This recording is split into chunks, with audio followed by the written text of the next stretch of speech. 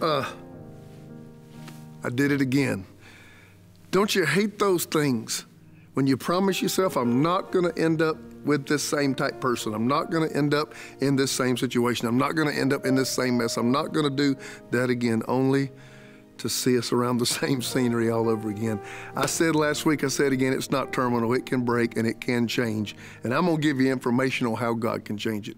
Take this journey with me. Let's go.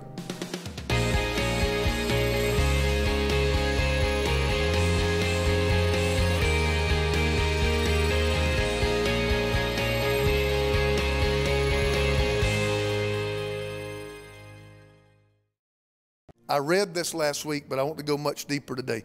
Hebrews 12, 1 and 2. If there's anybody in the room, say we're going deeper. Hallelujah. Thank you for your word, Lord. Thank you for your word.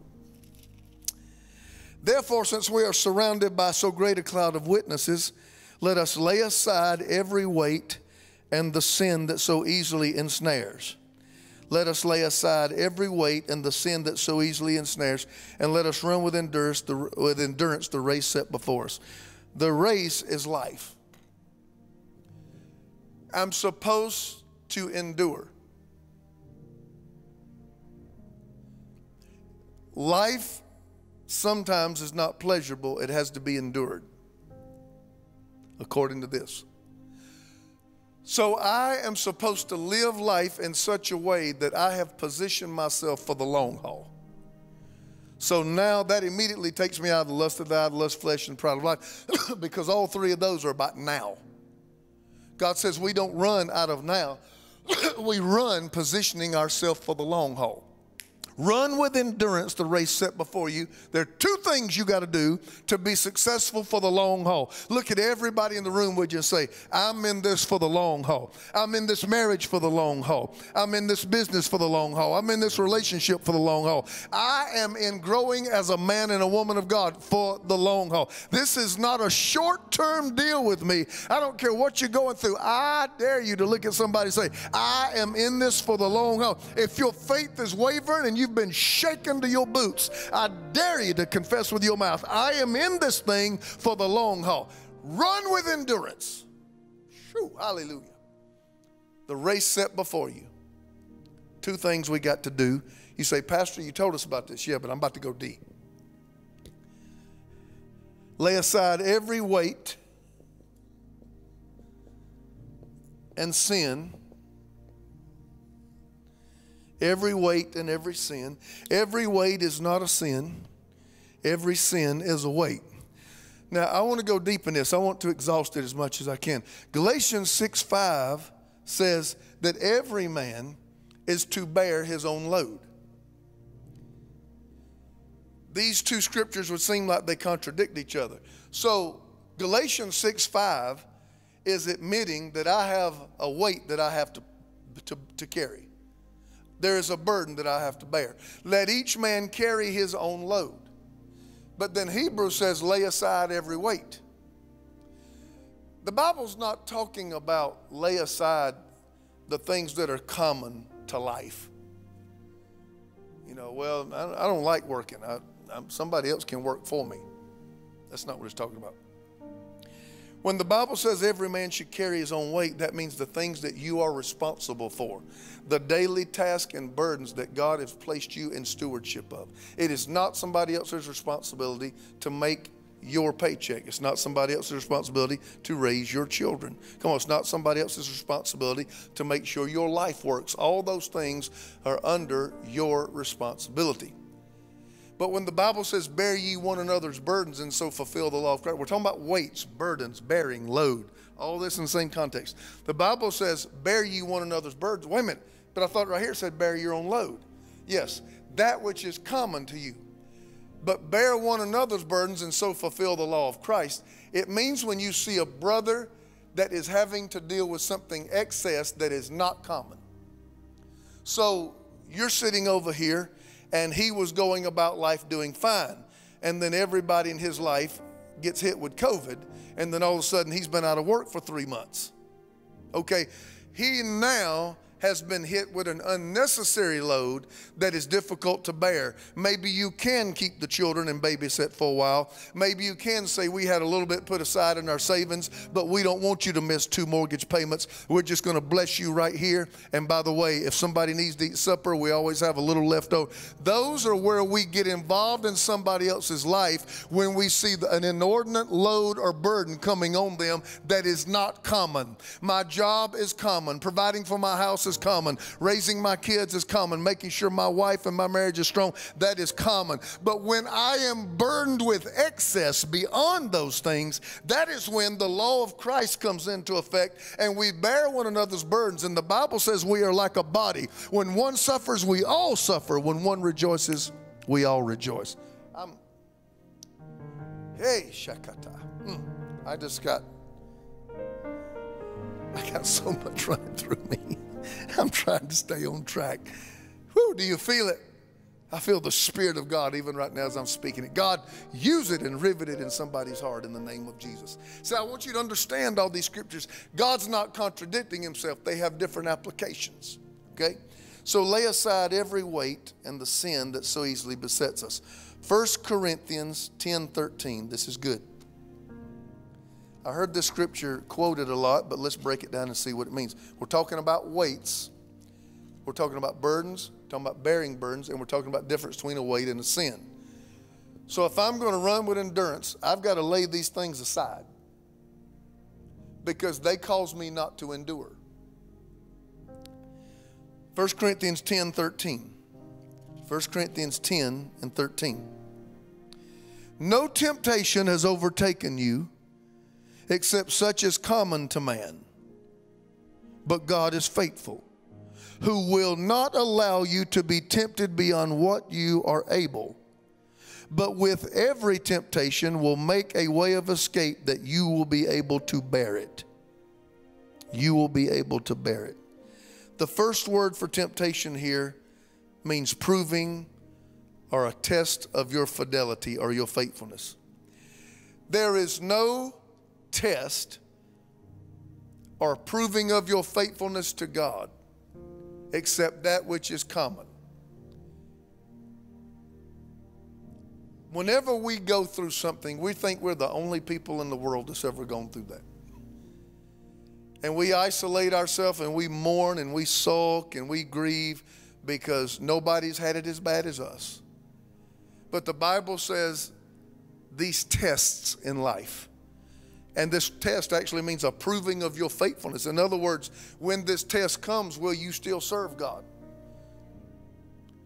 Jesus prophesied to Peter, Peter, I've prayed for you that your faith will not fail. In other words, he made him understand you have overestimated your strengths and you have underestimated your weaknesses, and you've been able to serve God because your service has not been put to the test. But you and your faithfulness is about to be tested. Your fidelity to Christ and all these bold statements of commitment that you make, they're about to be put to the fire. And when they were put to the fire, Peter found out his commitment and his fidelity to the Lord was not anywhere near what he thought. That's what the scripture's saying. So it says that God will never give me more than I can bear, but there is no test except that which is common. Whatever you're going through, somebody has already gone through it and come out a winner. And I want to encourage you that you are not the only one in this time of testing. There's somebody fighting it and there's somebody winning, and you just needed to know that today. You are not alone in this battle, that there are people that have have a testimony and they can already claim the thing that you're going through, God has already brought them out of. Can somebody shout amen right there where you are? Hallelujah. Now, the second word for temptation. Every temptation or test of your fidelity is common. Everybody is facing it and been through it. Let me read the second temptation. Ready? But God, who is God is faithful, will not allow you to be tempted beyond what you can bear. That second word means an attempt. So there's no test except one that everybody has to face. And when this attempt is made at you, God will not let it be more than what you can bear. The third one right here, let me read about the third temptation. But with the temptation will make a way of escape that you may be able to bear it. So let me rephrase the whole thing. Whenever your fidelity is being tested, God will not let that attempt be more than you can bear. But He will always provide a way of escape so that you can bear it. I did a word study on the word bear, and this is amazing. I've never seen it translated like this.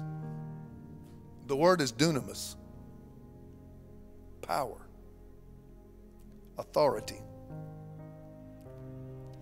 He will never let what you're going through be greater than your own power and authority.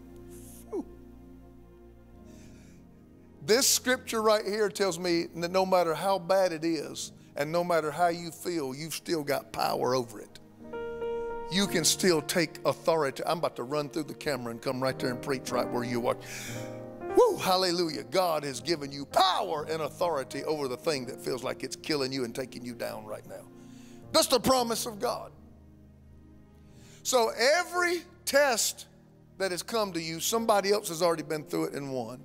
God will not let the enemy's attempt be more than what you can handle, but will provide a way of escape and never let it be above your dunamis, your power and your authority. This is the same word that Jesus said, when you you shall receive power, dunamis, when the Holy Ghost has come upon you. In other words, it will never be more. Your temptation will never be greater than your dunamis. Your dunamis will always be greater than your temptation. Your power and your authority.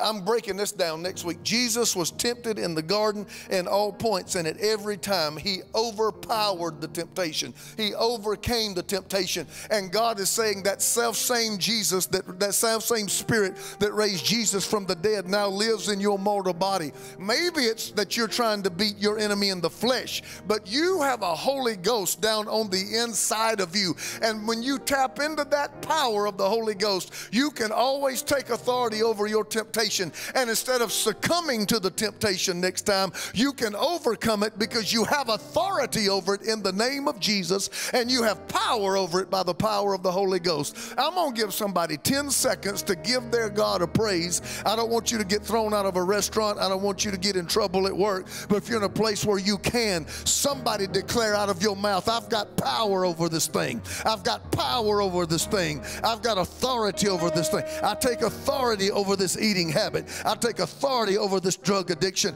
I take authority over this sexual addiction. I, I take authority over this repetitive behavior. I take authority over this repeated temptation. In the name of Jesus, you've got to square up your feet, square up your shoulders, and know who you are and know what you've got in the name of Jesus Christ of Nazareth. I've got to move on, but that's shouting territory right there.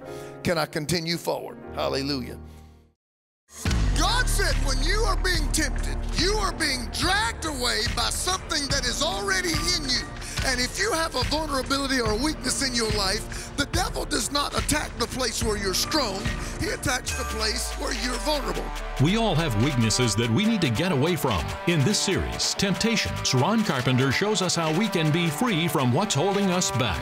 If you keep going into the fire and keep going into the fire, fire burns you. You are supposed to learn when you get burned not to touch it again. But if you keep falling in the fire and you keep falling in the water and you get out, but you go back to the fire and you get out drop, but you go back to the water, a seed has now become a sight. This six message series is available for your gift of $30 or more. Call now and we'll include free shipping and an MP3 download card. Call now or visit roncarpenter.com or write to the address on your screen. Now, we'll always provide a way of escape. He said you need to lay it aside. The lay it aside would be if I had a backpack that was weighing me down, I literally shift the weight.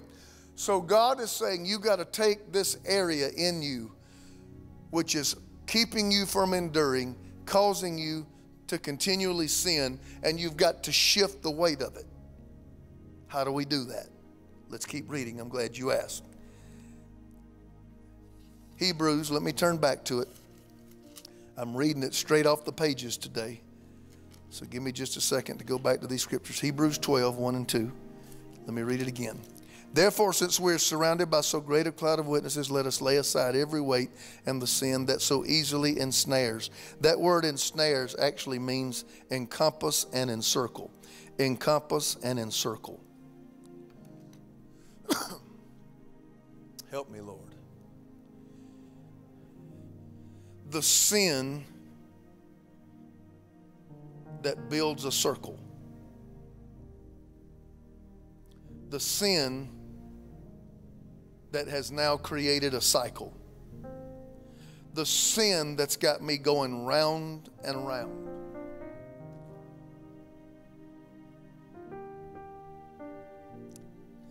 This could be so many things. But I want to talk about the sin. I don't want to talk about the weight. Let's talk about the sin.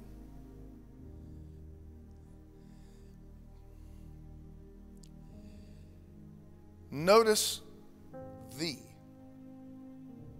and not a.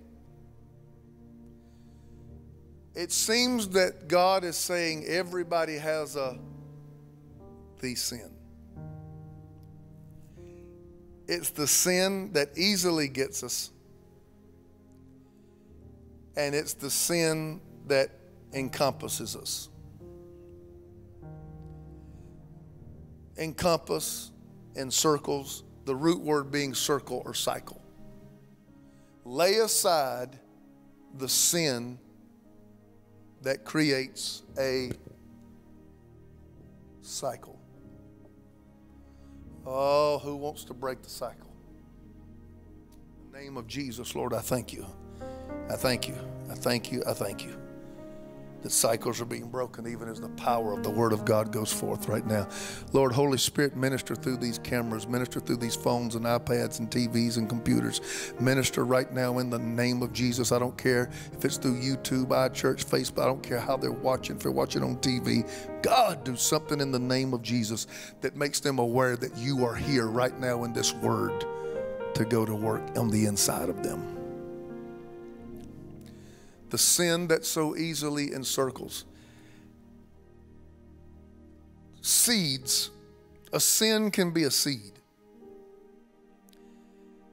And the Bible says when we've sinned, we have an advocate with the Father, Jesus Christ, who is faithful and just to forgive us of our sins and cleanse us of all unrighteousness. But sin that goes unconfronted continually and unrepented and you ignore it, you justify it, you make excuses for it. Those are the sins that try to make a cycle and take you round and round and round. You know, I never liked running on a treadmill.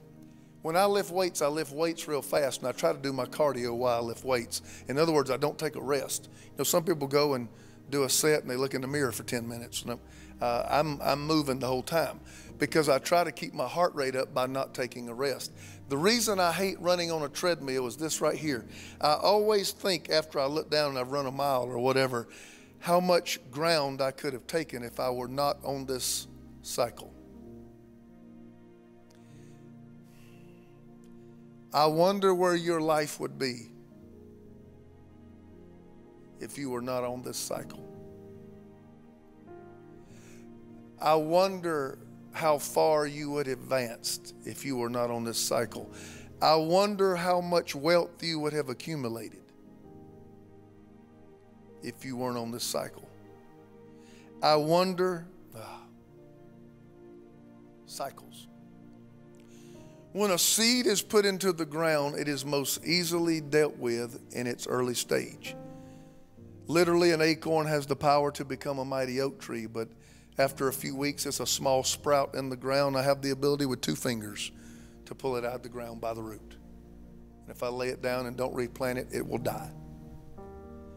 But if I leave that seed in the ground unconfronted for 30 years, it's a mighty oak tree and nothing less than a bulldozer in a day's work to pull it up out of the ground. Some of us, there may be something just getting started, you can still easily pull it up. Some of you may be dealing with something that has plagued you for decades. It may take a more powerful force from God to do it. But nevertheless, it's coming out in the name of Jesus.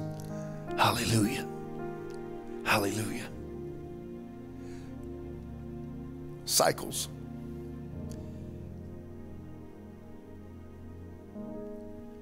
Two instances I want to give you.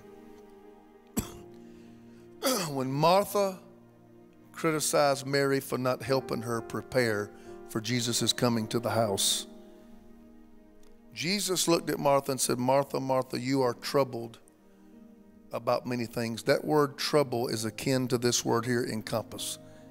Martha, he said, you are walking around in circles.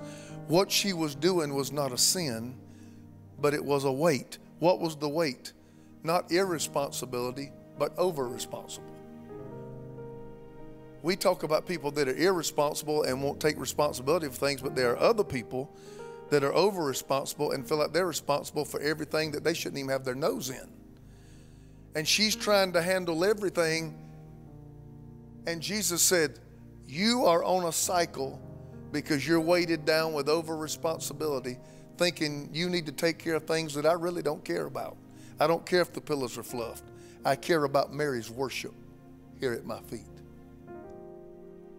Two more examples. Peter when Jesus found Peter, follow me and I will make you fishers of men. That was his old life. He was a fisherman. He spent three and a half years with Jesus, pardon me.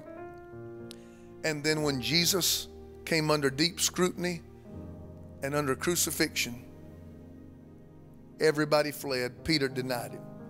Jesus is raised from the dead. John 21 goes back on the shore.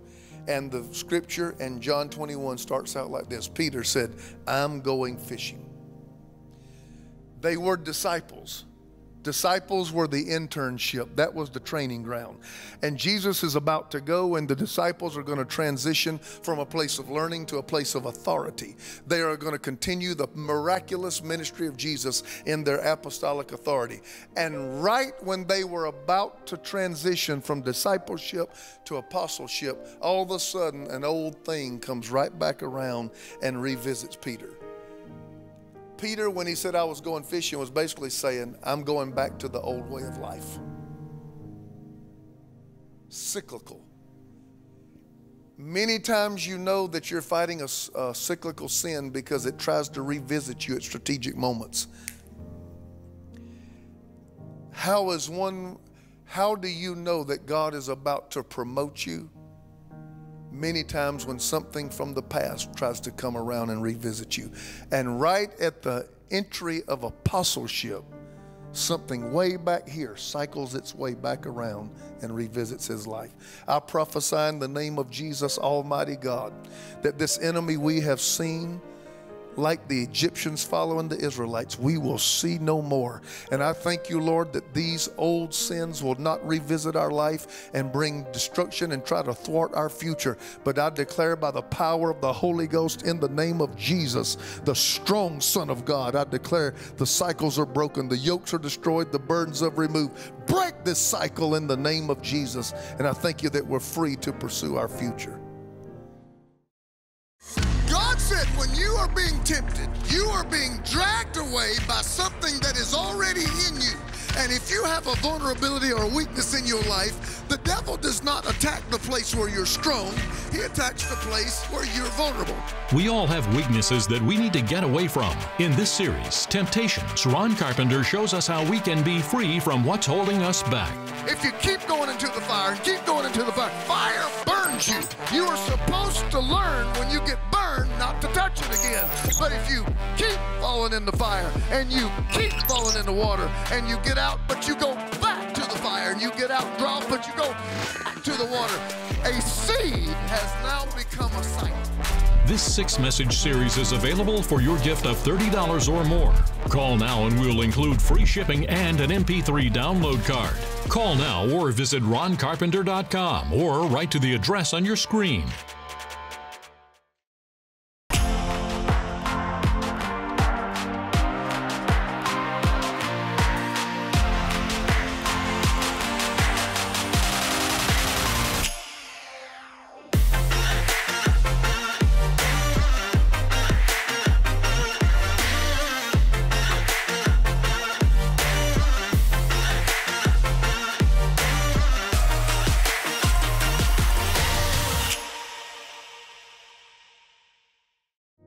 As always, and I've been saying this for many, many years, I hope, sincerely, I hope that you're enjoying these messages. And uh, I know that when I'm studying and investing in the time to prepare these messages, I do them in such a way where I hope they communicate well, and I hope that you can understand them. I, I feel like I've failed as a communicator if you don't have something you can take with you and begin to implement it in your life. That is when the Bible becomes real, is when it's implementable, when it's something that's tangible and you can turn it into activity. That is the best thing to do with the things that you're hearing right now. Thank you so much for joining our broadcast. We couldn't do what we do without you. Uh, this is a time where we end and just give our appeal to you. Would you consider blessing the thing that blessed you, pouring into the thing that poured into you? You know, there is a principle that cannot be violated. God, the Bible says, God will not be mocked. Whatever man sows, that shall he reap. Well, you've heard that even if you're not in church. But it says God will not be mocked. In other words, if you can get something out of it that you weren't willing to invest in it, then God is mocked. Why? Because when He created the earth, He put it on a system that was cyclical. In other words, God only created you know, beans and tomatoes and cucumbers and potatoes and corn and all and the livestock and cow one time. Why? If not, he'd have to come down every season and recreate it. But he put it on a cycle so that everything feeds each other. In other words, the well that you drink from, would you consider turning back around and replenishing that well? We don't sell ads, we don't sell commercials. We didn't stop and try to get you to buy anything. This is just to let you know all the messages are, on, uh, are, are online for a certain amount of time. Then they drop in our archives. You can get them in the vault if you want to do it digitally, or CDs and DVDs are still available. But how do we do what we do? How do we buy the time? How do we have the technology? How do we pay the engineers? How do we do what we do? It's because people like you enjoy it and are faithful to turn around and say, I want to bless back. Thank you. If you're considering being a first time giver, whether it be one time or a covenant partner. Maybe you want to be a part of the family. I welcome you, whatever it is God's put on your heart to do. We want to give you this gift to say thank you for being a part, even if it's just for this time, of this wonderful ministry. We got a lot of great people, and God's given us a lot of great opportunities to do things we've never done before, and you're helping make that possible. And I'm so grateful to you. For those that have been giving for weeks, months, years, decades, I'm dating myself, I know. We're grateful to you too. Thank you for caring enough about us and believing in us. And together we can continue, as long as God gives us breath, to take this message and blow it all over the world. God bless you. Check me out on Facebook. Check us out at iChurch. Check us out on Instagram, Twitter. We're talking all the time. And until next time we get to do this, God bless you. I'll see you soon. Join us every week for another exciting message from Ron Carpenter. And until then, visit us online at roncarpenter.com and discover encouraging resources to help you reach your greatest potential in your Christian walk. And when you visit, consider partnering with our ministry team to help us take this life changing message to the world. Our goal is to take the message and ministry of Ron Carpenter to a worldwide audience, but we can only do it with your help. And don't forget to connect with Ron every day through social media. Thank you so much for being a part of this ministry, and we'll see you again next time for another challenging message with Ron Carpenter.